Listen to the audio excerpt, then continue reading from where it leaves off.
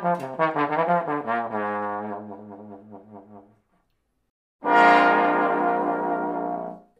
everybody! So today I'm briefly discussing and doing some demonstrating on how to learn from other jazz musicians.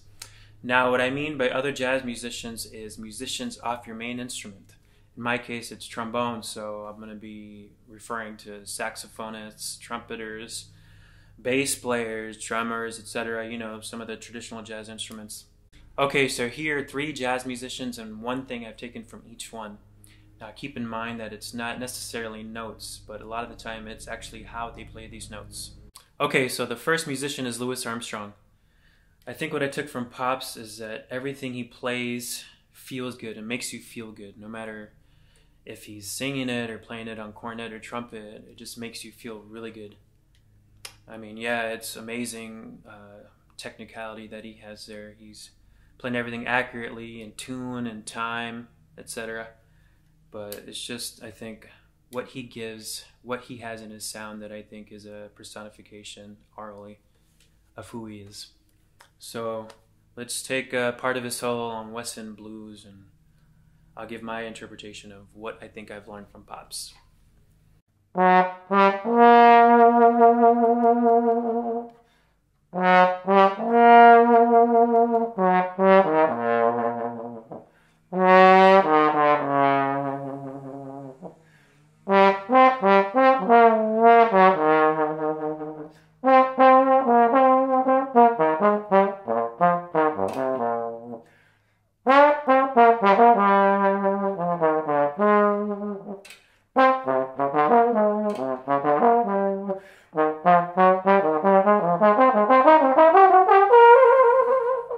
Number two is Charlie Parker. I think what I've taken from him, apart from a lot of the notes I've taken from his solos and his melodies, is his swing feel, man. If you check out like the recording of him playing Cherokee in 1943, I believe, with the with the guitar, it's just him and guitar.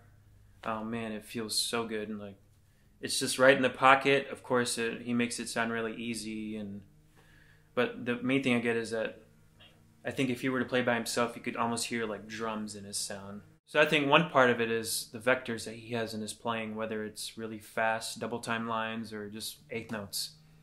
And what I mean by this is, uh, I guess you can take like straight eighth notes with a very slight lilt on them. Just tapping here on my leg and just kind of add accents here or there to, to kind of imply larger grooves or beats or claves or something. I guess I don't know. Mm, mm.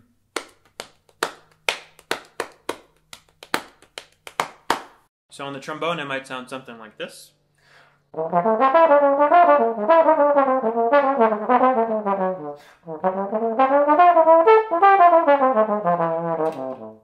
So a double time line might sound something like this. I'll do my best to demonstrate it.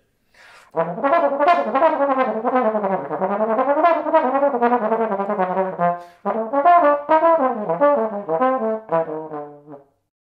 but not least, number three is John Coltrane. I think what I got from Trane was his sound. Man, it's a sound that's so deep that I think you can only get there from practicing as much as he did, and in addition to having the abilities and personality that he has, a curiosity as well. So what I used to do sometimes in practicing is close my eyes and envision that like I was John Coltrane on stage and just try to really get inside his sound and try to understand what he was saying. And uh, I guess uh, to demonstrate that, I'll play Stardust. It's one of the, my most memorable recordings of his that I have in my head. It helped me memorize the key of D flat. So this is me trying to understand John Coltrane, I guess.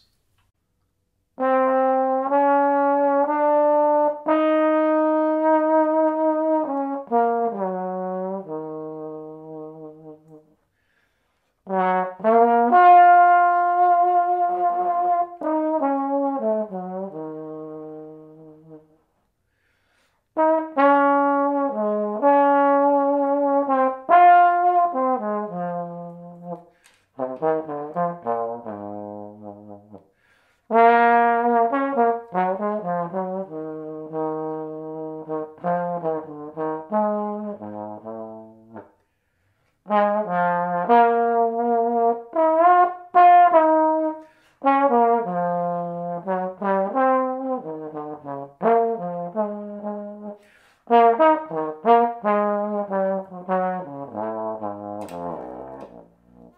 Okay, so that's it for this week. Please like and share this video if you found it useful, and consider subscribing to my channel if you want to see more videos like this.